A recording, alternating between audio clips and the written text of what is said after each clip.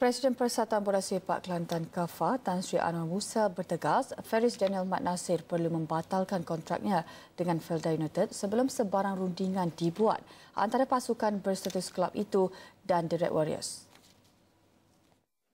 Nadi Arena pada Rabu melaporkan kelab bola sepak Felda United mahu melakukan rundingan damai dengan KAFA bagi menyelesaikan kedudukan Faris. Bekas pemain Harimau Muda A ini dilapor sudah mengikat kontrak dengan The Fighters tatkala masa belum dilepaskan serasmi oleh negeri kelahirannya Kelantan. Anwar bagaimanapun tampak menolak untuk melakukan rundingan itu kerana berasakan masalah utama yang perlu diselesaikan adalah antara Kafa dan Faris sendiri.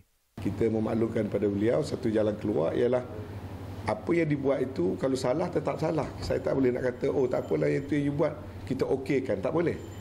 Uh, saya prinsipnya ya. Jadi dia kena batalkan dulu uh, kontrak itu dan dia lapor diri dengan lantas secara resmi uh, menandatangani apa tu kontrak dengan resmi lepas tu barulah boleh kita berunding dengan Felda sama ada nak nak selesaikan jalan mana itu memang option itu ada pada Feris Lantas Anwar tidak tolak kemungkinan untuk bawa kes ini ke jawatan kuasa status pemain Persatuan Bola Sepak Malaysia FM jika tiada penyelesaian dicapai.